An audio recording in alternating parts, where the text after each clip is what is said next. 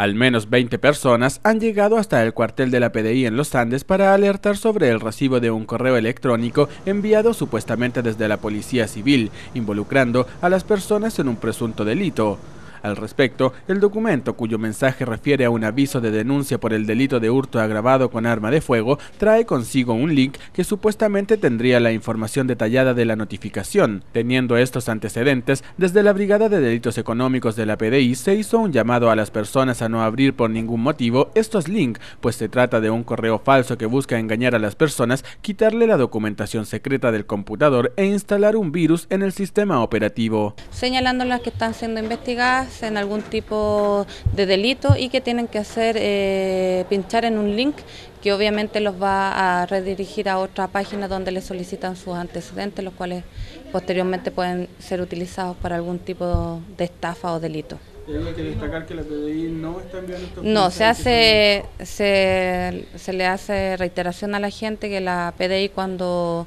notifica o cita a una persona, va o en forma personal. El correo electrónico se ha masificado en todo el país y por estas razones que la Brigada Investigadora del Cibercrimen Metropolitana está investigando el sabotaje informático, conforme a instrucciones de la Fiscalía Centro Norte. A su vez, el virus que contiene el correo está en etapa de estudio para determinar con claridad el fin, el destino de la información capturada por este y los efectos perjudiciales al sistema operativo infectado. En todo caso, en los Andes, los receptores del mail solo han advertido la situación y no existen denuncias, por lo que no habría nadie afectado. Puede traer algún tipo de virus que se puede, eh, se puede insertar en el computador y puede obtener la información también de las personas que utilizan esos computadores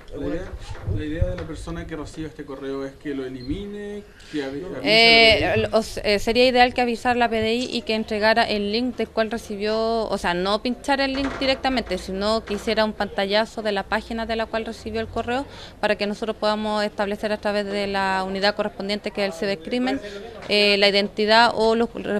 posibles eh, responsables de este tipo de delito. Este correo utiliza la imagen institucional e incluso proviene del correo denuncias investigaciones.cl, el que no corresponde a la PDI. Se trata de una nueva investigación, pues como informamos hace algunas semanas existe otro correo de las mismas características dando vueltas en el país, el que se supone es enviado por Carabineros, institución que también se refirió al hecho como un correo falso. Si usted ha sido víctima de robo de información bancaria, correos electrónicos o redes sociales, recuerde que debe realizar la denuncia en la Policía de Investigaciones de Chile.